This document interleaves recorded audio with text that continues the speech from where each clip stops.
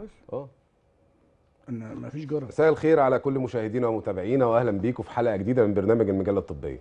زي ما تعودنا دايما بنقدم لكم كل ما هو جديد ومفيد في عالم الطب والصحة. بيشرفنا ويسعدنا النهارده إن يكون معانا الدكتور فوزي محمد عباس استشاري جراحة الفم والأسنان. يا أهلا وسهلا دكتور. أهلا بيك. منورنا. مساء طيب يا دكتور ذكري. أهلا بيك إن شاء الله. صحة وسلامة يا فندم.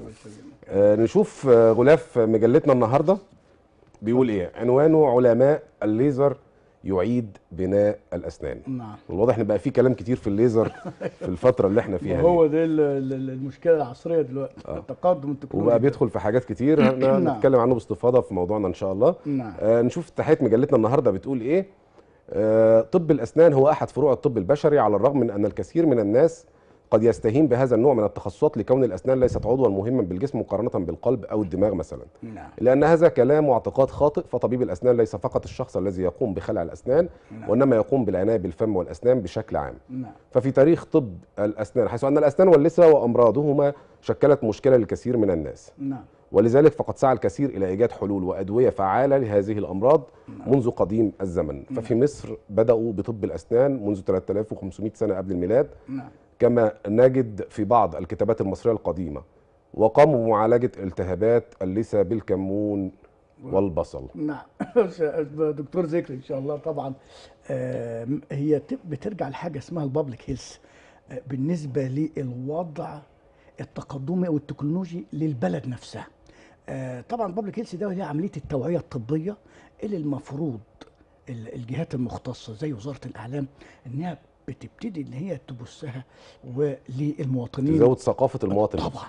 لكن فعلا ما زلنا لحد دلوقتي بس طبعا أحسن من الأول آه، آه، إن اعتقاد الناس إن الأسنان عامة أو طب الأسنان حاجة مهملة.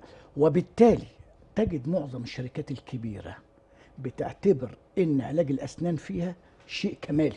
يعني ما فيش شركة خالص بتعالج أي موظف عندها في طب الأسنان غير- سوى بس شركات البترول وبنسبة محددة لكل موظف. لكن أنا عايز أقول عزيزي المواطن طبعا بسم الله الرحمن الرحيم من يهدي الله فهو المهتدي ومن يضلل فلن تجد له وليا مرشدا. أما ثم بعد آه، طب الأسنان زي كان زمان بيقولوا إيه؟ إن الفم كان عنوان الدكتور اللي يشوف المرض اللي انتشر في جسم الإنسان. أول حاجة كان يعملها الدكتور زمان يقول لك افتح بقك طلع لسانك يبص حوالين الفك كله بيعرف إن كان في حرارة ولا بكتيريا معينة وبالتالي الفك هو العين اللي كانت للطبيب اللي كانت زمان فعلا يبتدي يعرف أمراض المنتشرة في جسم الإنسان. ولذلك بنقول الفم هو أول سلمة في علاج صحة الإنسان. أول سلمة في الصحة الوقائية وصحة الإنسان إن طبعا من روائح الفك اللي هي بتؤثر على لو أنا أهملت طب طب الأسنان هسيب الروائح والكلام دي كلها بتنزل مع الأكل. يعني المريض النهارده اللي بيهمل سنانه وبيهمل عملية الغسيل وهي بقى بكرة وبعده ما تنساش إن البق ده شيء مفتوح للهواء وللدنيا بحالها. خدت بال معليك إزاي؟ وبالتالي بيجيب البكتيريا نتيجة بقايا الطعام اللي انت بتهملها. البقايا دي لما بتيجي تعمل تاكل تاني بتاخدها الطعام الجديد وتنزل المعدة وممكن تاثر ما إحنا هنا إحنا عندنا على- مشكلة برضو خلينا. نعترف بيها. أيوة. إحنا ما بنروحش لدكتور الأسنان غير لما في مشكلة إيه؟ وصلت إن إحنا مش قادرين نستحمل في نعم، ألم شديد أو الحالة يعني استوت. لكن الثقافة العامة والتوعية الطبية يعني نعم. دكتور الأسنان فعلا زي ما كنا قرينا في افتتاحات مجلتنا نعم. هي مش الفكرة إن أنا لما بتعب بس بروح له نعم. لكن هو بيقدر يفيدني في ان أنا آه، إزاي أهتم بأسناني نعم. أهتم إزاي بصحة الفم نعم. اللي هي بشكل أو بآخر تأثر على صحة على الجسد صحة كله بعد كده الإنسان. بنعتبر طبعا يعني إحنا طبعا في وضع أحسن من زمان طبعا اللي كان زمان ما كانش فيه غير عملية الخلع فقط حتى عملية التوعية الطبية بتاعة جهات اللي هي بعيدة عن المدن كانت ممكن اللي كان بيقوم بعمليات الخلع ده كان إنسان مش متخصص وكان ممكن يكون فيه التهاب. إحنا كنا بنسمع عن حاجات غريبة زمان يعني في طرق الخلع دي. وممكن يكون إنسان عنده rheumatoid disease آه، أمراض القلب أو عنده السكر ومع الالتهاب يخلع له يقول لك ده ثلاث أيام وحصل لا قدر الله حالة وفاة نتيجة الخلع النزيف موجود. لكن إحنا النهارده بنتكلم عن في تكنولوجيا جم- جميلة جدا وفي توعيه أحسن من الأول طبعا بالنسبة لجميع الجهات الموجودة في القاهرة وخارجها. إن ن- بنعتبر الفم والأسنان علاجه ده حاجة بسيطة جدا جدا لو الإنسان اهتم بالفرشة والمعجون فقط مرة بعد الفطار أو قبل الفطار ومرة قبل النوم ثق تماما أنا واثق إن نسبة أمراض اللثة والأسنان هتقل كتير جدا الوقاية جدا خير من, من. العلاج طبعا. نشوف شخصية عددنا النهارده مين يا دكتور شخصية عددنا النهارده الدكتور آه، أبو بكر الرازي حاوي نعم. الطب. آه. أفضل الاطباء الذين اشتهروا في طب الأسنان الرازي. فقد اهتم كثيرا في طب الأسنان حيث خصص في الجزء الثالث من كتابه الحاوي في الطب. نعم. وقد خصص مكانا لأمراض الأسنان واللثة وال- واللسان وأمراض الفم وطرق العلاج بواسطة الأدوية أو نعم. بالأدوات المستخدمة في خلع الأسنان أو نعم. كيها بالنار وكتب عن طرق معالجة الأورام الجراحيه نعم، أبو نعم. بكر الرازي. ده عالم طب فارسي من علماء العرب. اللي كانوا ما شاء الله آه، آه، يعني ابتكروا كتير جدا في الطب وأفاد الطب جدا اللي هو العالم آه، آه، أبو بكر ابن محمد آه، آه، ابن الرازي. ده من العلماء اللي عملوا كتابه مشهور بتاعه كتاب آه، اللي هو جامع الطب اللي شمل فيه كتير جدا جدا من الأمراض وبالذات ضغط على موضوع طب علاج طب الأسنان واللاسه وكان بيتكلم إزاي عن الأحجار اللي تم اكتشافها ويطحنوها ويعالجوها عشان يعالجوا بيها السنان يعتبر من. الرواد في في, في طب طبعا الأسنان يعتبر ابن الرازي. ده يعتبر من العلماء الكبار جدا زي ابن سينا من علماء العرب اللي هم حطوا بصماتهم جميلة جدا جدا في علاج آه، آه، طب الأسنان بالذات وعلاج اللاسه وهو من الناس اللي اخترعت مادة خدت بالك اكتشف مادة زي السلفه كده بس كانت مادة حجرية وكان بيعمل بيها اللاسه بتاعه الطفل آه، يعني مشهور بيها لما كان الطفل بيسنن وبيبتدي يسخن وكان في ضعف كالسيوم عنده ما يقدرش يسنن فكان المادة دي بيجيبها بيفرك لاسه الطفل وبالتالي بتساعده على إن السنان اللبنية بتطلع بدري. فده من علماء الفارسيين اللي هم لهم بصمة كبيرة جدا جدا طبعا في الطب إن شاء الله طيب. موضوعنا النهارده زي ما قرينا في غلاف مجلتنا نعم. علماء يقولون الليزر يعيد نعم. نمو الأسنان نعم نعم, نعم. توصل العلماء إلى تقنية لإصلاح الأسنان يقولون إنها التقنية المبنية على استخدام ضوء الليزر مم. لتحفيز الخلايا الجذعية للجسم على العمل نعم وربما تقدم وعدا كبير تقدم وعدا كبيرا يتجاوز طب الأسنان في مجال الطب التجديدي نعم واستخدم الباحثون الليزر منخفض القدرة لانتزاع الخلايا الجذعية الموجودة في عاج السن نعم. وهو النسيج الصلب الذي يشبه العظام نعم ويتكون منه عظم السن واجروا الدراسات على الفئران وباستخدام خلايا بشريه في المعمل نعم أيضا نعم. إيه موضوع آه، الليزر آه، يعيد نمو طبعا الأسنان آه، آه، آه، زي ما تكلمنا دكتور ذكري في الحلقات السابقة إن دلوقتي ال- ال- الموضوع اللي هو الشائك اللي هو بيشغل جميع ال- ال- ال- المواطنين أو الناس عامة أو علماء العالم عملية الليزر دلوقتي إنها دخلت في عمليات علاج إحنا بنسمع الإنسان. اسمه كتير في كل آه، حاجة في دلوقتي جميع التخصصات. مم. وبالنسبة لتخصصنا طبعا العلماء دلوقتي بالذات اللي طرعوا فيها آه، ما شاء الله علماء سعوديين. والواحد يشهد لهم إن هم الحمد لله دلوقتي بيبتدوا ياخدوا الخلايا الجذعية عن طريق الليزر ويبتدوا يزرعوها تاني في العصب بتاع الضرس عشان ينشطوا الضرس. ليه؟ هو كان طبعا هو, هو- مبدئيا ليه هو أنا بستحمل بستعمل الكلام ده في حالة إيه؟ أقول لحضرتك كان مم. الأول لما بداية الطب إن الضرس لما بيبتدي يعمل ألم كان بيخلعوه لما اكتشف إن هذه العملية بتؤثر عملية المضغ وعملية الهضم وابتدت الطب يتقدم ابتدوا يعرفوا إن قيمة الضرس والاسنان ربنا خلقها دي ليها قيمة عظيمة جدا فابتدوا يخترعوا حاجات أو يتقدموا علماء التكنولوجيا مع علماء الهندسة الطبية في تشكيل أجهزة معينة للحفاظ على الضرس إيه اللي بيبتدي يصيب الضرس؟ أنا عندي الضرس عبارة عن طبقة مينا وعبارة عن طبقة دنتين اللي هي العاج وطبقه عصب.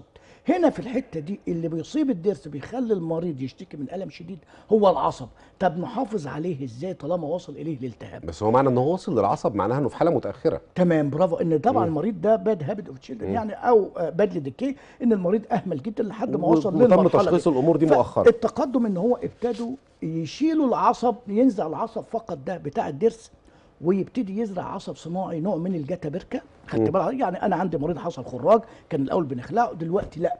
أنا بأنصح عزيزي المشاهد والمشاهدة ممنوع منعا باتا حد يخلع لأن أنا بأنصح عزيزي المشاهد خلي بالك الجدر الصناعي اللي تم تحديثه حاليا بيعدي ال 2000 جنيه اللي هو جسمك يقبله. طب ما أنا عندي جدر ربنا أحسن مليون مرة. بس بس معنى كمان حضرتك بتقول اتفضل. مش عايز حد يخلع. إحنا بنقول الخلع ده دلوقتي بقى فيه طرق كتير بتجنبنا إن إحنا نوصل لمرحلة الخلع. بالخلع. نعم لو أنا دلوقتي وصلت المرحلة خلاص القطر عداني وأهملت كتير جدا.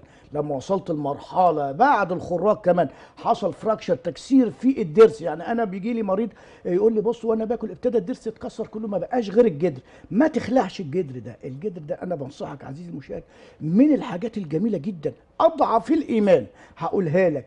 لو الجدر ده الدكتور عالجه وموته بالليزر أو موت العصب اللي هو مسبب للخراج فيه هنعتبره زي قعده عظم داخل الفك بتاعك ممكن نركب عليه بقى. تركب عليه يبقى أنت بتاكل على قعده عظم. على قعدة أسمنت قوية. أما النهارده لما أنت تخلعه أصبح فيه لاسه لما بعمل لك سواء كان أسنان متحركة أو ثابتة أو زرع بتبقى العظم واللاسه ربنا خلق تحتيها شبكة شرايين وشبكة أعصاب.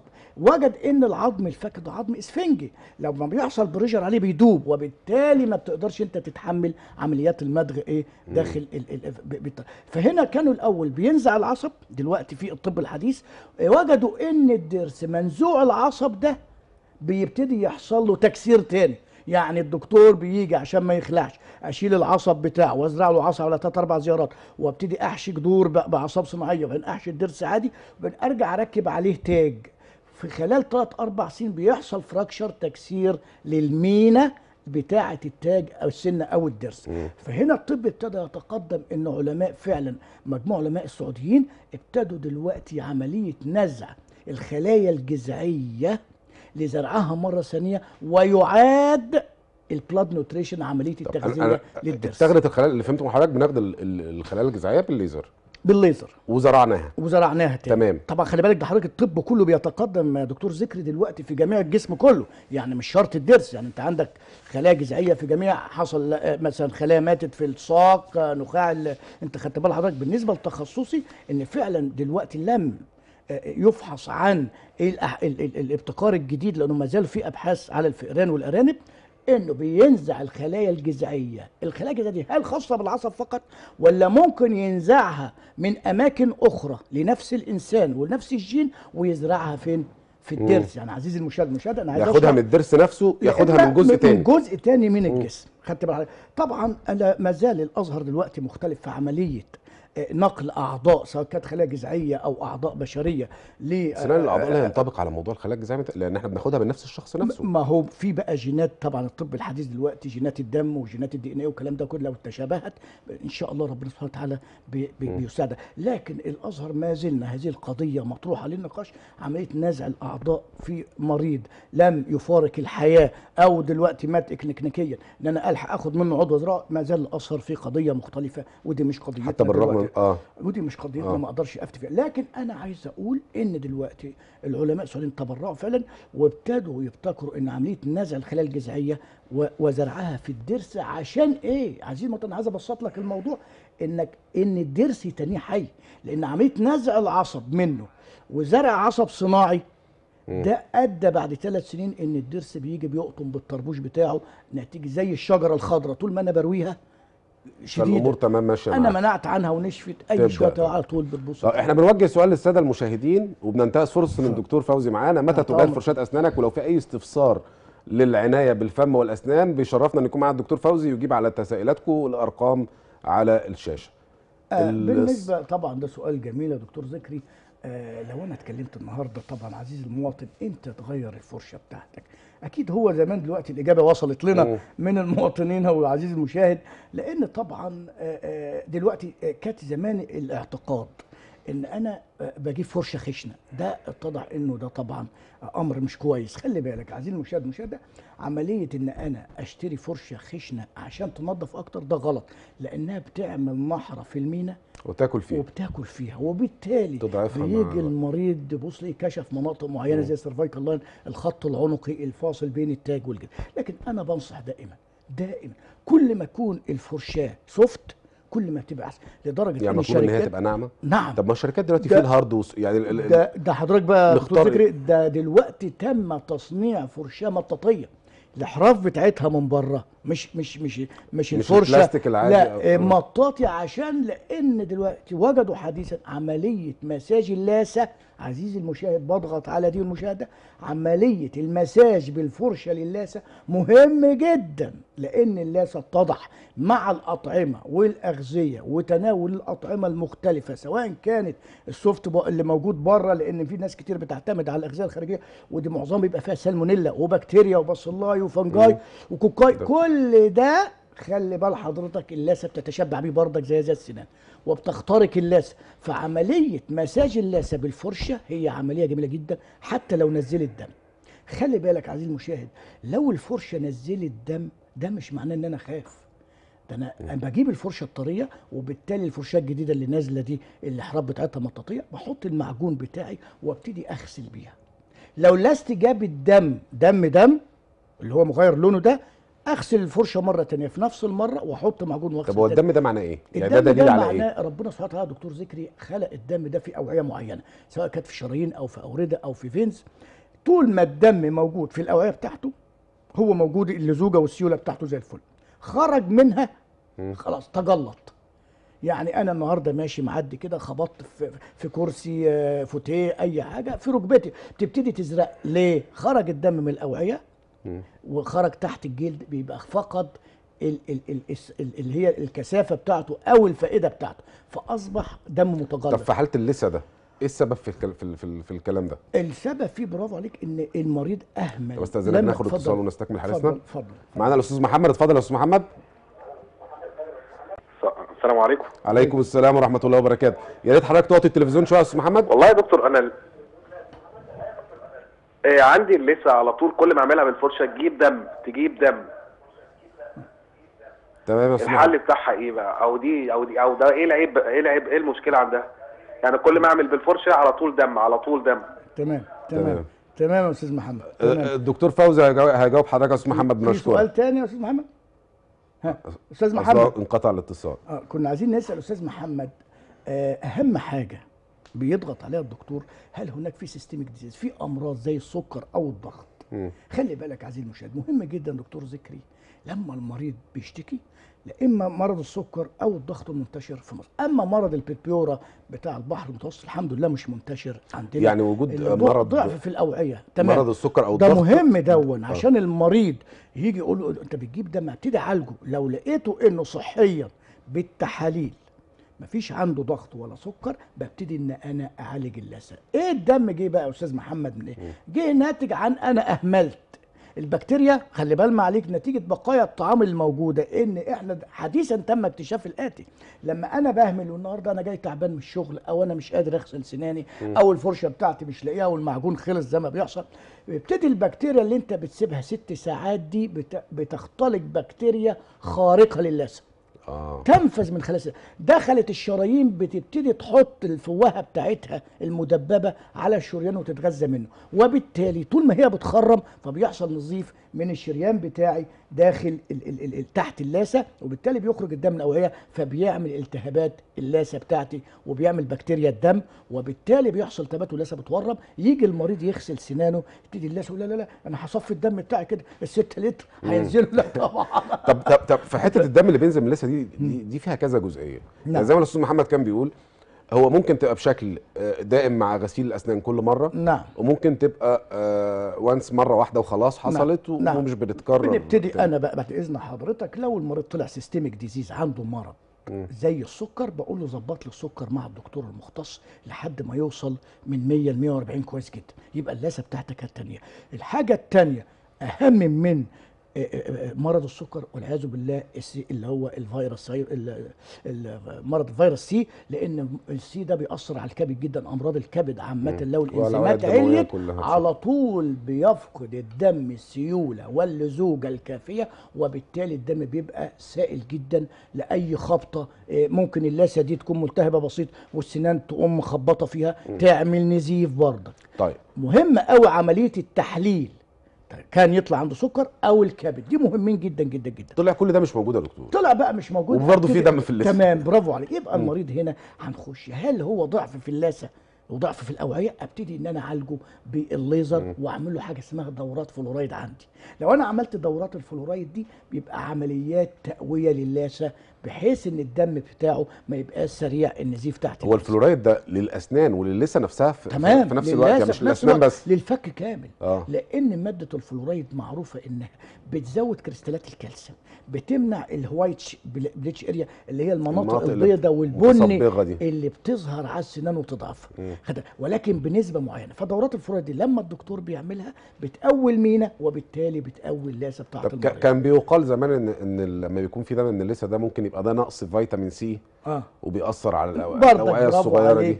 دي حاجة مهمة جدا. ما هو برضك إحنا لو جينا نعمل تقسيمة لعمليات نزيف اللثه بنتكلم عن هل هي حالة وراثية ولا حالة مكتسبة نتيجة ضعف في التغذية ولا systemic disease ولا حالة مرضية نتيجة وجود السكر أو الضغط أو أمراض الكبد أو أمراض القلب اللي هي أو وجود علاجات زي علاج الصرع والعياذ بالله. كل الحاجات دي لما الدكتور بيبتدي يعمل diagnosis كشف تشخيص شامل عن المريض. وببتدي أعمله pamphlet ببتدي إن أنا أعالجه. عندك السكر هتعالجه كذا عندك الضغط ليك علاج الضغط. طيب ما لقيتش عنده حاجة يا دكتور ذكري. أعمل برضه. إيه. ببتدي إن أنا أعمل له أنا دورات الفلورايد أنا بساعد المريض وبغسل له سنانه في العيادة عندي. يجيب لي الفرشة بتاعته ويجيب المعجون ومع ال- ال- المواد الطبية الجميلة بتاعت الفلورايد وغيرها ببتدي أغسل اللاسة بخرج المريض من عندي يقول لي إيه؟ أنا حاسس إن الرئة بتاعتي كانت مسدودة وإيه بقت بس الكلام ده آه، مرة واحدة وخلاص؟ لا طبعا بياخد من ثلاثة لخمس مرات. ومش مكلفة ما على هي ما هي دي فكرة. المشكلة اللي بتخلي الناس ما بيحبوش يروحوا لدكاترة الاسنان عايزين واحد فاضي يقعد يروح لهم كل يوم كل يوم كل يوم. لا إن شاء الله. أصل أنت لو سلمتك النهارده لاسه مم. كويسه بتحس بانتعاش رهيب. أنا بكلمك جد كأنك واخد shower مستديم. ودي مناسبة للجميع الصغير والكبير ولا آه أطفال وكبار أطفال وكبار. الدكتور بيحط إيده على السبب ويبتدي يعالجه سواء كان مكتسب سواء سوء تغذية سواء كان نتيجة systemic disease أمراض مستوطنة أو موجودة عنده. تمام. طب إحنا معانا اتصال؟ أم محمد؟ اتفضلي يا أم محمد. ألو؟ ألو؟ السلام عليكم. اتفضلي يا أم محمد. السلام عليكم. عليكم السلام ورحمة السلام. الله وبركاته. اتفضلي معاك يا فندم سامعينك. مش سامعه صوت. السلام عليكم. عليكم السلام ورحمة الله وبركاته. ازي حضرتك يا دكتور. الحمد لله يا فندم. جزاكم الله خيرا. ربنا يخليكي. آه لو سمحت يا دكتور أنا يعني ست كبيرة عندي 70 سنة. وبعدين أنا من النوع اللي طول عمري مهتمه بأسناني كويس جدا. يعني عمري ما عملت جير ولا الحاجات دي. بس دروسي بدأت تقع من غير آه، ما تسوس ولا يبقى فيها أي حاجة. فجزء كبير جدا من دروسي وقع. ففي مرة وقعت السنة اللي قدام اتكسرت فلما رحت للدكتور خلعها لي.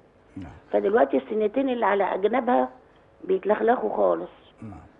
ويعني معلش يعني أكون صريحة مع حضرتك أنا إمكانياتي ضعيفة في موضوع التركيب. نعم نعم. فأنا عايزة أسأل حضرتك يعني هل الأسنان دي ممكن تتثبت؟ وعندي كمان آه، آه، ناب فوق كمان آه، بدأ يتلخلخ.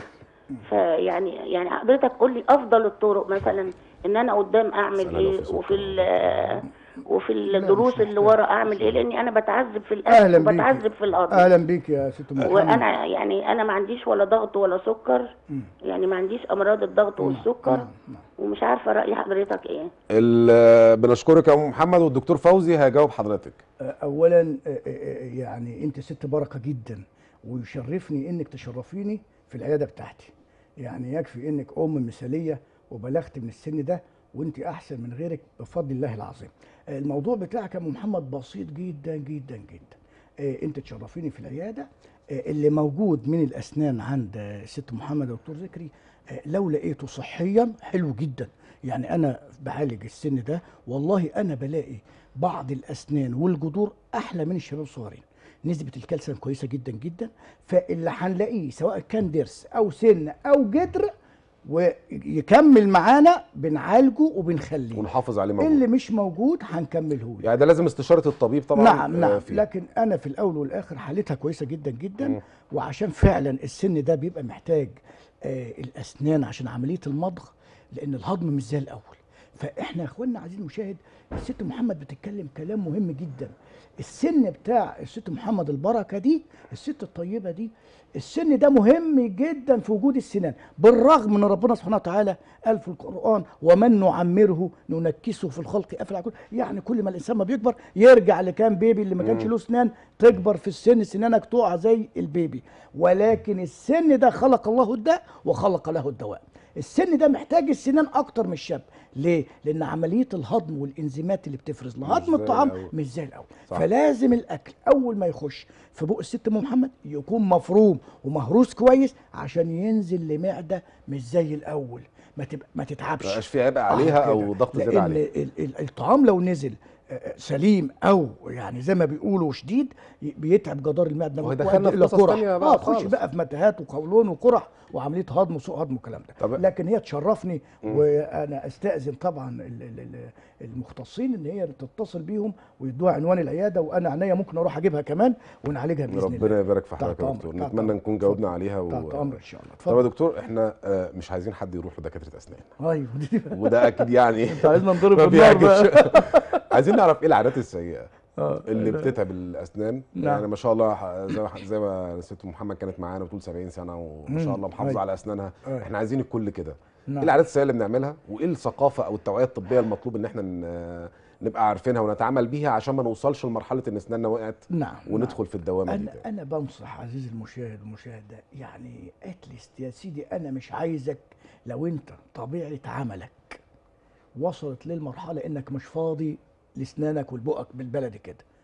كل ثلاث شهور تعالى زيارة واحدة بس يكون دكتور صح. للاسف يعني عايز أقول دكتور يكون أنت حبيبك. لا مش فاهم دي. آه، يعني هو ما بيعملش يعني- حاجة في اسنانه خالص. يعني أنت لو. أهملت للدرجة غير إنك يا دوبك م... أكيد بقى بتتوضى. أكيد يعني مش هقول لك بتستخدم سواك. لا أكيد بتتوضى ما هو لو مش بتصلي بقى لا.